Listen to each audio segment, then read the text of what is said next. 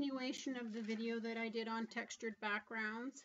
So if you remember, I did a background and I put on some um, texture and then um, it's on a black background so that you could see it. So now I've done it on a white background so that I can continue to show you how you can add more dimension to the texture that you've already created. So on my palette, I, right here I have some uh, extender. Here I have asphaltum and here I have raw sienna in the Americana line of paint. So what I'm going to do is I'm going to pick up some of the um, raw sienna and I'm going to come along here. Now you can see as I'm doing this, pick up more extender. You see how it's picking up where the texture is? I'm going to come in and pick up some asphaltum.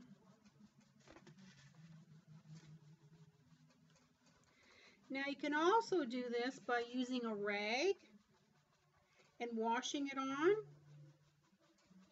whichever you prefer. You can put it on dark or you can put it on light.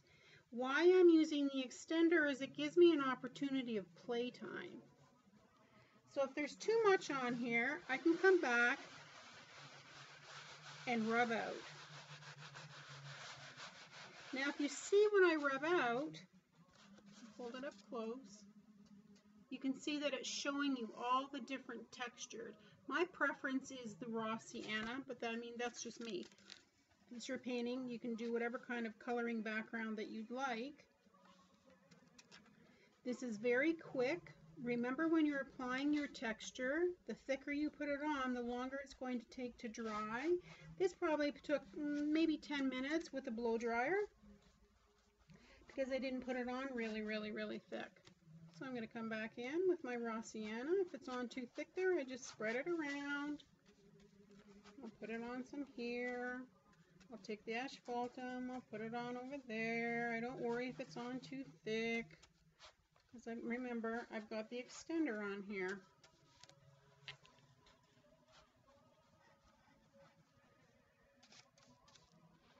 All I'm doing is I'm picking up the paint, putting it on. Going to come back with my paper towel, could be a rag, whatever you prefer.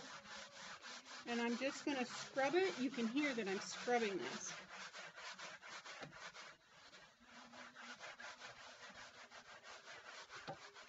Like I told you, you can put it on thick or you can put it on thin. If it's a little too thick and you don't really quite like it, you can go back in with a little bit of water it'll take it right off.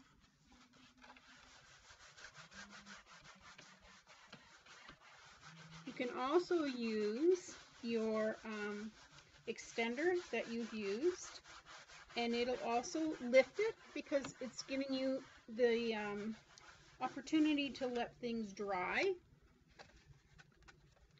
It, like I said before, using an extender gives you playtime.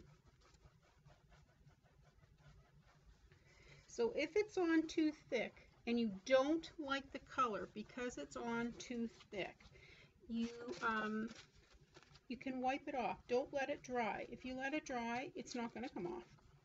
No matter how hard you try, it's not going to come off. So that, my friends, let me tip it so you don't get a glare. That is a very crash course on how to do texture this would give you a fabulous Tuscany look. If you took a piece of the um, cardboard piping that they use when they're um, creating fence uh, posts for decking and you cover it in a texture and then you come across and you do this Venetian finish, it would be gorgeous because then if you put a top and you put a, bot or put a bottom on it anyway, you can make an umbrella holder. So there you go. That's how you do texture with floating medium and some paint. This is Sue Gait signing out.